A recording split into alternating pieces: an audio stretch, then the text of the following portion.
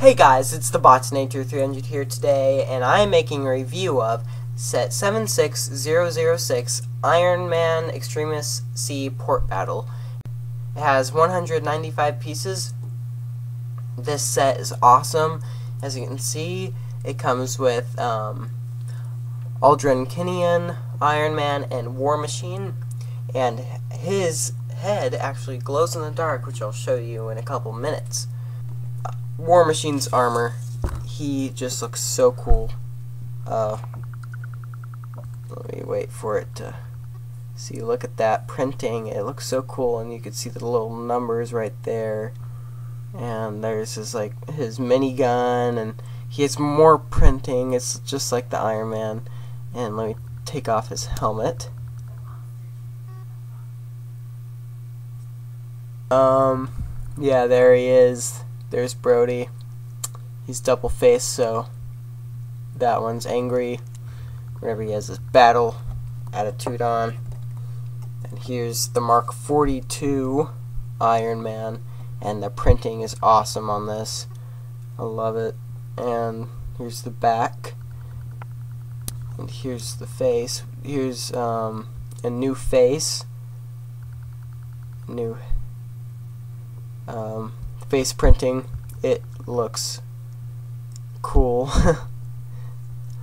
and uh, here's Aldrich Kenyon. I think that's Guy Pearce's character, I think. I don't know. I'll have to look it up. So here he is. And then right there he has this scary face. And uh, I'll show you in a couple minutes whenever he can glow in the dark. Hey guys, here is Aldrich Killian's glow-in-the-dark head.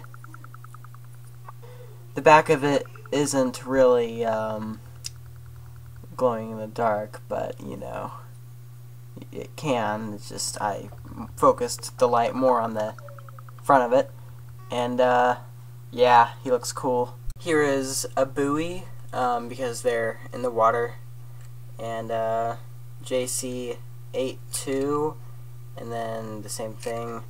Um, it has the gimmick. When you push this it the top of it pops off as a kind of a cool gimmick. Um, this is kind of cool. Here's the boat and is much bigger in person than I thought. I thought it was gonna be smaller on the box or from the box. Looks smaller. And here is his dynamite, there's his gun, and then the missiles. And they actually shoot like this. You push these down, and that is cool. Um, here's some stickers. And then sticker right there. Then you take that off, and uh, you can put dynamite in there or whatever. So this boat is pretty cool. I recommend getting this set. It is fun and uh, costs like twenty dollars retail. It depends where you're at, but in the U.S. it's twenty dollars. So guys, this is the end of the review. Please subscribe, comment, thumbs up. I hope you guys enjoyed. Um, have a nice day, guys. See ya.